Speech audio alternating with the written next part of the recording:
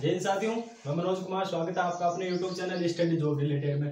दोस्तों, हमारी चल रही थी राजस्थान कल्चर में, राजस्थान के प्रमुख लोक देवता। प्रमुख लोक देवता हमने पाँच पीरों के बारे में और वीर देजा जी के बारे में अध्ययन कर लिया था। आज हम इस पार्ट में बात करेंगे जितने भी राजस्थान के प्रमुख लोक देवता है उनके बारे में। तो चलिए हम एक एक राजस्थान के प्रमुख लोक देवता लेते हैं। तो सबसे पहले रख देते हैं देवनारायण जी। कौन से लोक देवता? देवनारायण जी। देखिए। देवनारायण जी के गीत आप लगभग सुनते रहते हो। तो देखिए, देवनारायण जी गुर्जरों के क्या है? आराध्य देव।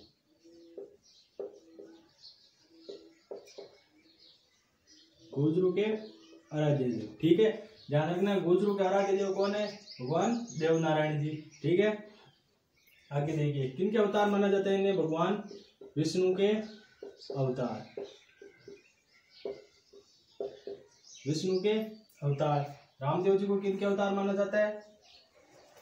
भगवान विष्णु के अवतार माना जाता है। ठीक है? आगे देखिए। इन्हें याद करने की एक छोटी सी ट्रिक है देवनारायण जी के बारे में। उसके बाद आपको लगभग देवनारायण जी के बारे में कंप्लीट बातें याद हो जाएगी। देखिए, ये देखिए, ये क्या है कि बस है। ठीक है? ये बस कहाँ से कहाँ जा रही है? ये जा रही है गोटा दड़ावत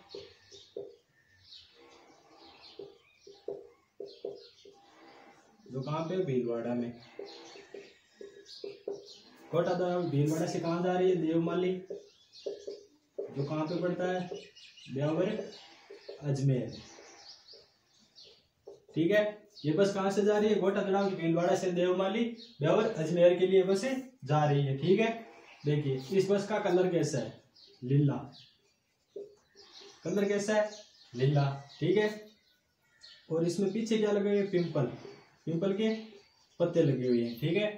यहाँ पर एक मूर्ति है, किसकी? भगवान विष्णु की, ठीक है? आगे देखिए, इसमें क्या भरी हुई है? इंटे क्या भरी हुई है? इंटे भरी हुई है, ठीक है? और इसका आरजे कितना है? सत्ताईस। इतनी बात याद रख लो। लगभग देवनारायण जी के बारे में यहाँ से कंप्लीट बातें हो जाएगी। देखिए बस जा कहाँ से रही गोटा दड़ावत भीलवाड़ा से देवमाली व्यावर अजमेर के लिए। तो देखिए, जन्म कहाँ हुआ था देवनारायण जी का? गोटा दड़ावत भीलवाड़ा में, ठीक है? और इनकी समाधि कहाँ बनी हुई है? देवमाली, अजमेर के मान समाधि कहाँ बनी हुई है? देवमाली ब्यावर अजमेर में। जन्म कहाँ हुआ था? गोटा दड़ावत भीलवाड़ा में। लीला लीला से इनके घोड़े का नाम क्या है? लीलाधर। घोड़े का नाम क्या है? लीलाधर आर जे सत्ताईस कहाँ का है? उदयपुर का। तो मूल नाम क्या था? उदय सिंह। ठीक है? विष्णु विष्णु से हो गया भगवान, विष्णु के अवतार।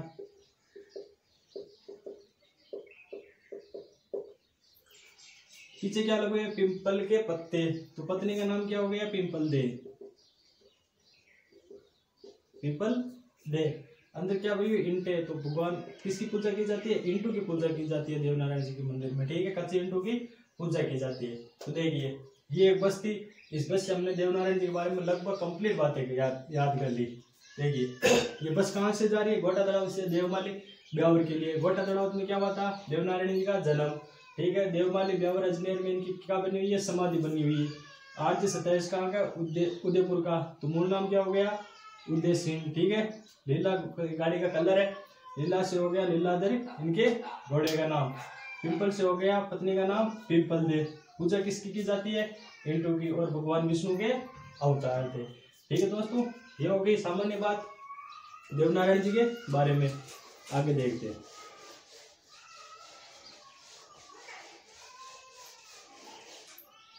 आगे देखिए, इनके प्रमुख मंदिर। मंदिर कहाँ पे कहाँ पे। एक तो हमने भी बात की थी गोटा दड़ावत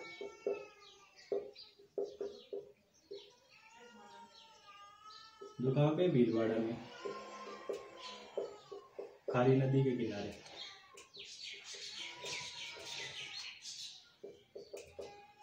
कहाँ पे बना हुआ है खारी नदी के किनारे, भीलवाड़ा में। ठीक है? दूसरे बात करते हैं। देवमाली। जो कहाँ पे? अजमेर में। यहाँ पर क्या है इनकी? समाधि। ठीक? एक इनका प्रमुख मंदिर है, देवधामपुरिया। जो कहाँ पे बना हुआ है? निवाई टोंक में। ठीक? एक इनका मंदिर है देव डूंगरी जो कहाँ पे चित्तौड़गढ़ में। ठीक? एक इनका मंदिर है, नगला जहाज़ जो कहाँ पे? भरतपुर में। कहाँ पे? भरतपुर में। देवनारायण जी का प्रमुख मंदिर कहाँ पे कहाँ पे? गोटा तलाव भीलवाड़ा काली नदी के किनारे। दूसरा देवमाली अजमेर में, जहाँ पे इनकी समाधि बनी हुई है।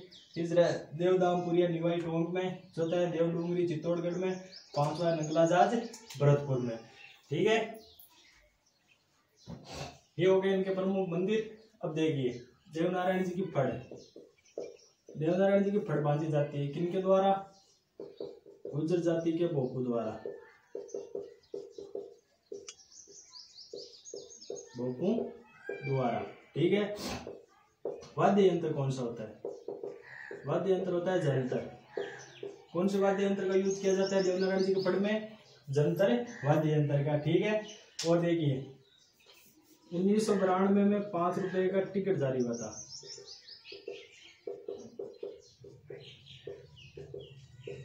किस पे हुआ था? देवनारायण जी की फड़ पर उन्नीस सौ बानवे में पाँच रुपए का टिकट जारी हुआ था। वाद्य यंत्र कौन सा होता है? जंतर, ठीक है?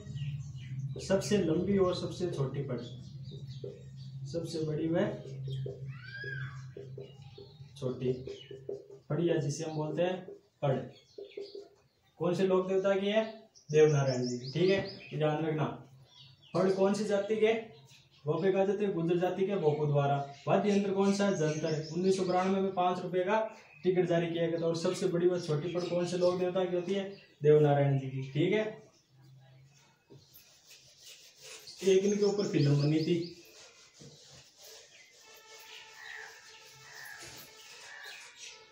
देवनारायण जी के ऊपर फ़िल्म बनी थी, जिसमें इनकी भूमिका किसने निभाई थी? नाथू सिंह गुजर ने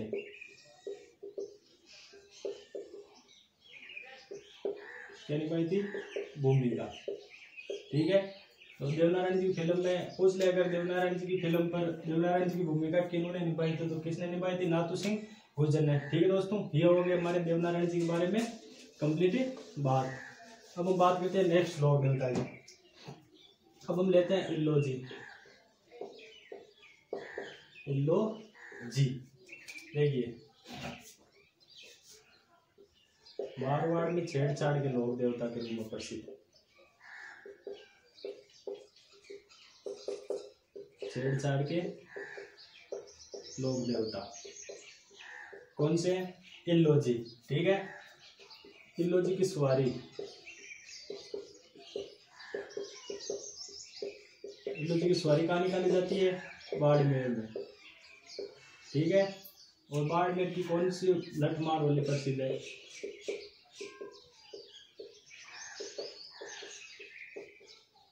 लठमार होली कहाँ की प्रसिद्ध है? बाड़मेर की अगर पूरे देवरबाबी की होली कहाँ की प्रसिद्ध है तो ब्यावर, अजमेर की, ठीक है?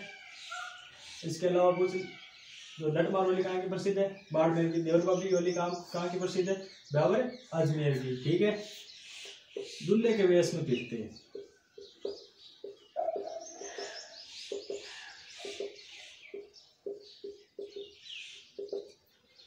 आपको पूछ ले दुल्हे के वेश में कौन से लोग देवता घूमते थे, कौन से थे?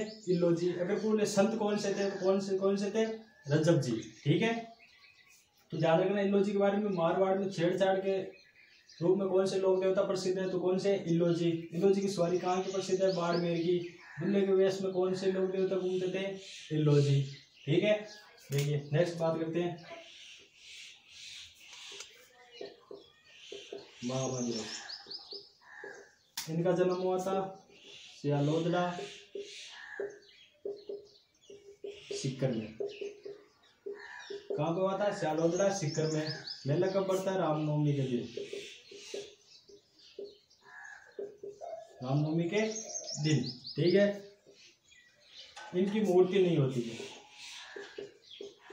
मूर्ति नहीं होती है जबकि लकड़ी का तोरण होता है। लकड़ी का तोरण होता है, ठीक है? और इनके चढ़ाए जाते हैं, मिट्टी के घोड़े चढ़ाए जाते हैं।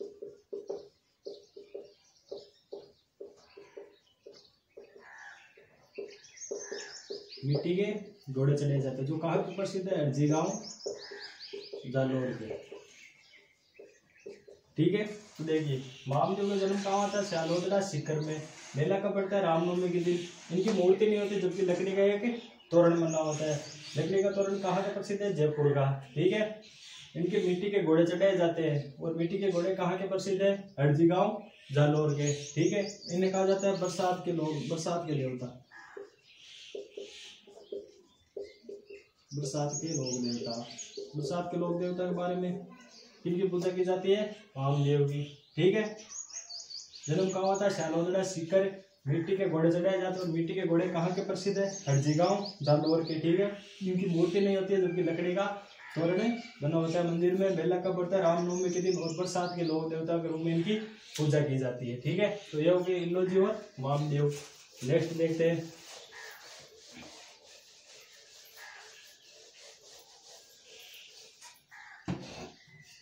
आगे हम बात करते हैं चार नंबर पर। वीर भी गजू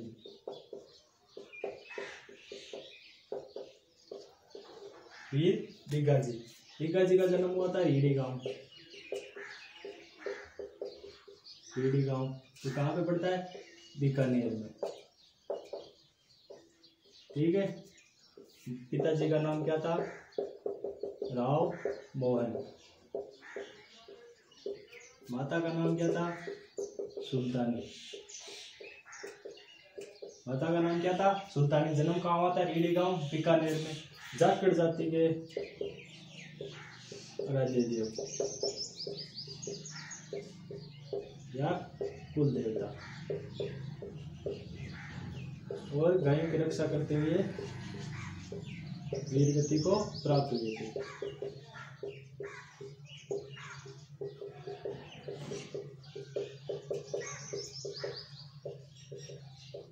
वीर गति को प्राप्त। तो देखिए वीर पिका जी वीर पिका जी का जन्म कहाँ हुआ था? रीडी गाँव, बीकानेर में, ठीक है? पिता का नाम क्या था? राव मोहन। माता का नाम क्या था? सुल्तानी। झारखंड जाति के लोग कुल देवता है, ठीक है? गायों की रक्षा करते हुए वीर गति को प्राप्त हुए थे, ठीक है? तो याद रखना वीर जी के बारे में। नेक्स्ट देखते हैं। हरिराम बाबा।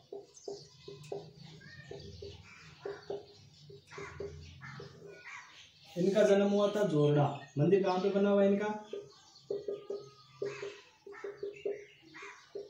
जोरडा गाँव है, जो कहाँ पे नागौर में। कहाँ पे? नागौर में। पिता का नाम क्या है? राम नारायण माता का नाम चंदनी। गुरु का नाम बुरा